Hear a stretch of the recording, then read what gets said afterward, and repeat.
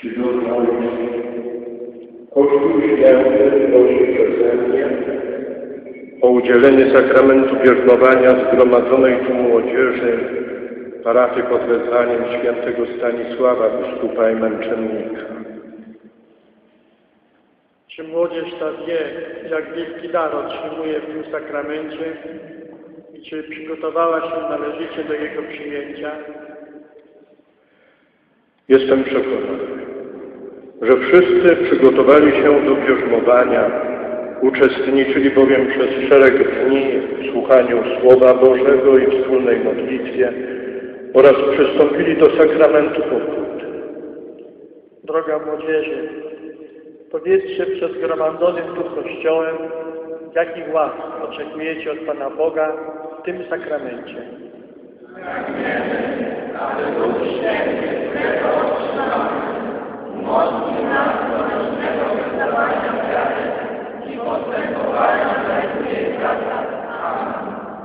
Bogu niech będą dzięki. Droga młodzieży, świętam teraz ikony Matki Bożej, na którą wstępuje Duch Święty, którą ogarnia Duch Święty i różańce. Ta modlitwa też przywołuje Ducha Świętego. Otrzymacie je przy bierzmowaniu, na pamiątkę, jako znak, byście się modlili o Ducha Świętego. Módlmy się. Wszechmogący wiecznie Boże, wielbimy Cię i wysławiamy. Ty uczyniłeś wielkie rzeczy Najświętszej Marii Pannie, wybierając ją na matkę umiłowanego Syna Twojego i naszego Zbawiciela. Ona stała się błogosławioną między niewiastami, bo uwierzyła, że spełnią się słowa powiedziane od Pana. Pobłogosław te obrazy, niech nam przypominają, że Maryja jest Matką Chrystusa i naszą Matką, do której możemy się uciec w każdej potrzebie. Spraw także, abyśmy jak ona naśladowali Chrystusa, Pana naszego i błogosławiením różańców. Panie Jezu Chryste, Ty dla nas za sprawą Ducha Świętego przyjąłeś ciało z Maryi Dziewicy i stałeś się człowiekiem. Prosimy Cię, pobłogosław te różańce i każdego, który na cześć Twojej Matki weźmie go do ręki. Sprawa, by wszyscy, którzy z Maryją rozważać będą tajemnice życia, męki i chwały Twojego, Twojej, coraz bardziej wnikali w głębię bogactw, mądrości i miłości Ojca, z którym Ty żyjesz i królujesz na wieki wieków.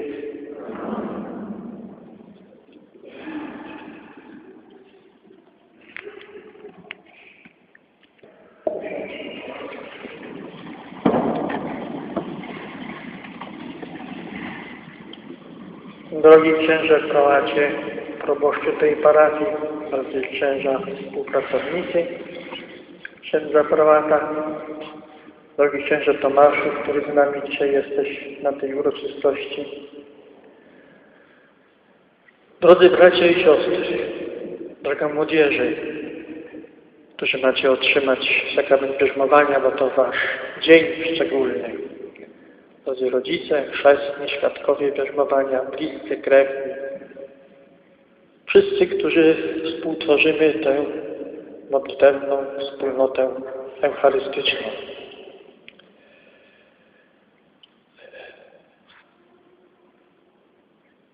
Duch Święty stale wstępuje na Kościół.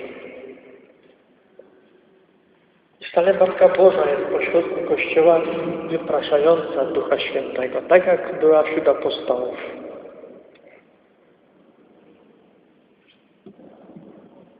Ona w szczególny sposób była ogarnięta Duchem Świętym. Tego Ducha nam wyprasza. Kościół w okresie wielkanocnym, a zwłaszcza w ostatnim czasie, przywołuje Ducha Świętego i ukazuje moc Jego działania.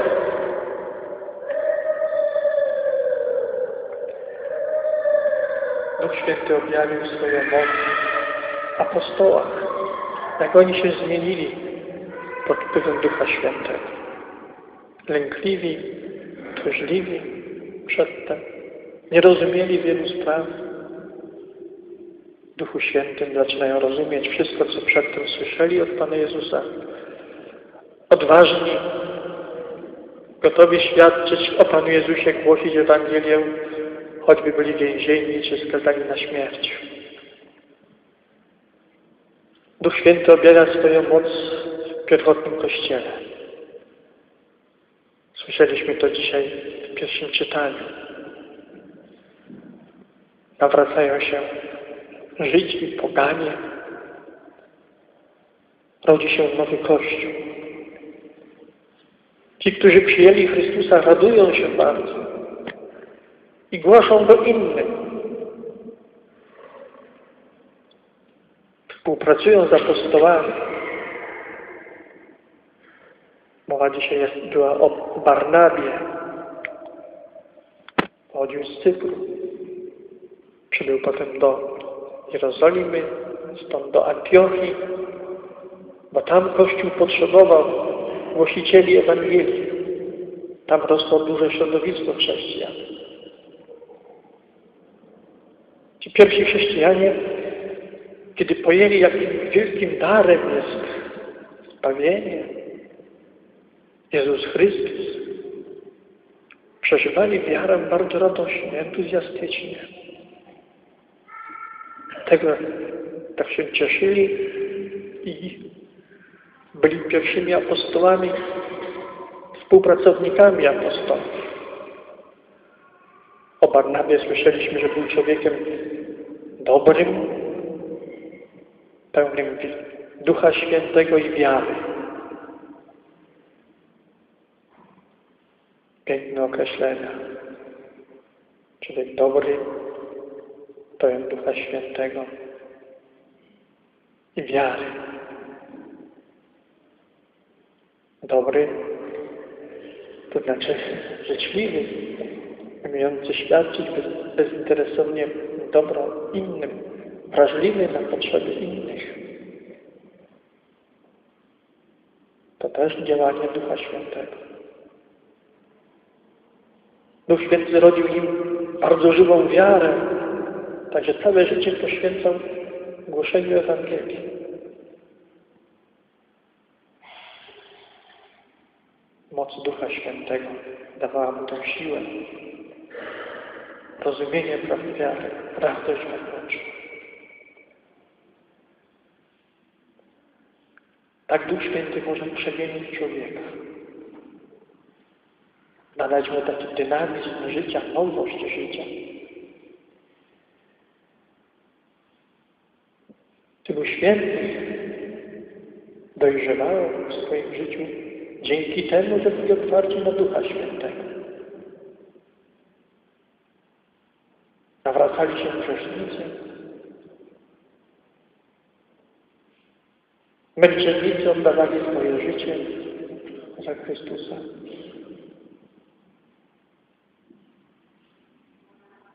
Musimy też uwierzyć, że Duch Święty może nas przemienić, odnowić, dać siłę, żebyśmy wytrwali, żebyśmy byli ludźmi dobrymi, szlachetnymi, ludźmi żywej wiary, ludźmi, którzy się radują wiarą i dają świadectwo o swojej wierze. Przez to apostołują. Jan Paweł II mówił często do młodzieży, że wy musicie być świadkami w swoim środowisku, apostołami wobec siebie nawzajem. To znaczy być świadkiem? Dawać, poznać po sobie, że jestem człowiekiem Chrystusa. Tam w Antiochii nazwano tych, którzy przyjęli Chrystusa chrześcijanami. Stamtąd się rodzi to określenie tych wierzących Chrystusa, chrześcijanie. I musimy też dawać świadectwo, że jesteśmy chrześcijanami, czyli ludźmi Chrystusa. Ludźmi, którzy przyjęli Ewangelię Chrystusa, otworzyli się na Jego ducha i tym duchem żyją. żeby można było poznać po naszych rozmowach, po naszych zamiarach, po naszym zachowaniu w domu, w szkole, na ulicy, przeżywaniu różnych spraw poza domem, kiedy jesteśmy w jakichś grupach, czy na jakichś uroczystościach, że my jesteśmy dziećmi Chrystusa. I Duch Święty daje nam do rady. Męstwo, dar męstwa, on jest potrzebny do tego, żeby wytrwać w dobrym. Bo człowiek często wie, że jest dobre i chciałby realizować swoje postanowienia, a jest słaby. Musi czuwać. Musi wymagać od siebie. I dlatego potrzebuje męstwa. Męstwa potrzebuje też dlatego, że powinien być chrześcijaninem zawsze. W każdym środowisku, nawet jeżeli ktoś będzie się uśmiechał, czy czy będzie większość tych, którzy będą inaczej myśleć, inaczej będą chcieli postępować, czy będą tacy, którzy będą chcieli nas wciągnąć w jakieś złe towarzystwo, za to modne, żebyśmy umieli powiedzieć, że ja inaczej myślę, ja mam inne zasady, ja się na to nie godzę, ja na to nie pójdę, żeby być sobą. Być sobą. Być człowiekiem wolnym. Dar mądrości, rozumu, rady, umiejętności będzie Wam pomagał oceniać, będzie dawał światło, będzie Wam pomagał wybierać, decydować. Żeby być wolnym, to trzeba mieć rozeznanie prawdy, żeby wybrać prawdziwe dobro, być wolnym. No co to jest za sytuacja, że człowiek postępuje tak na tak mówili, tak w telewizji, tak piszą, albo po tak mi się chce, albo tak mi się nie chce. Czy to jest wolny człowiek? On jest pod wpływem czegoś, kogoś, czegoś, własnych słabości. Wolny jest wtedy, kiedy rozeznaje prawdziwe dobro i chce je realizować. I ma wewnętrzną decyzję męstwo, że chce to wypełnić. I umie również jako człowiek słaby, grzeszny stanąć przed Bogiem, Jego wielkością, świętością, uznać swój grzech i czuwać, żeby Pana Boga nie obrazić, na bojaźność, nie lęku, koliczenia się z Bogiem, kimś ważnym w moim życiu, najważniejszym, jedynym, którego nie chcę utracić, obrazić. Żyć na wzór Chrystusa, w synowskiej miłości wobec Ojca, pobożność, modlić się, być posłusznym Bożej nauce, przekazaniu, wołać całym swoim wnętrzem i życiem Abba Ojcze. Chętnie śpiewamy taką pieśń Abba Ojcze, modlitwa Chrystusa i nasza.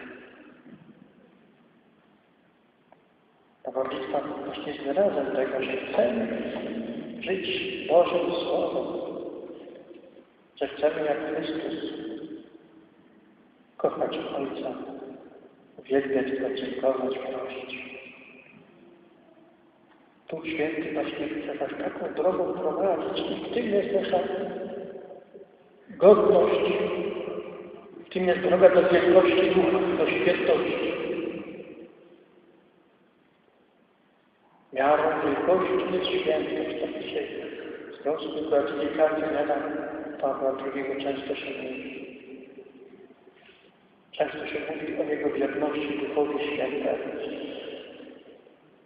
o Jego modlitwie, o Jego oddaniu się całkowicie swojego powołania, o Jego świętości. Człowiek Boży, człowiek modlitwy, człowiek święty. I dlatego wielki, dlatego błogosławiony. Miarą wielkości jest świętość. Duch Święty na taką drogę prowadzi. Chce, żebyśmy dojrzewali. Otwarci na Boże Słowo, na Boże wezwanie, na działanie łaski Ducha. I wierni bez maku duszy.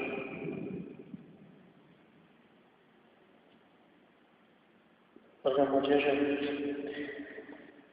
uwierzcie, że Duch Święty może nas przemieniać i prowadzić do świętości. I od tego Ducha się módlcie.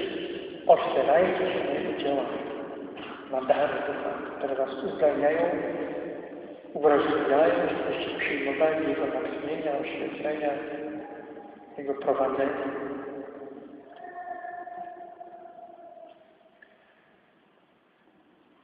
Otrzymujecie sakrament bierzmowania na przedłużeniu sakramentu Chrztu Świętego. Tam się rozpoczęło nasze życie w Chrystusie i Kościele. Duchu Święty. W tym duchu bardzo nie zadecydowali. Proszę się dalej, abyście właściwie formowali swoje życie. Wy teraz, kiedy się zbliżacie do życia dorosłego, powinniście ten dar życia w Chrystusie i Kościele podjąć bardzo osobiście. Dlatego będę Was pytał, stawiał Wam pytania takie, jakie były postawione na Chrzcie Świętym. By nawiązać do Chrztu Świętego. Żebyście Wy wyrazili swoją wolę wejścia na drogę dojrzałego chrześcijanina.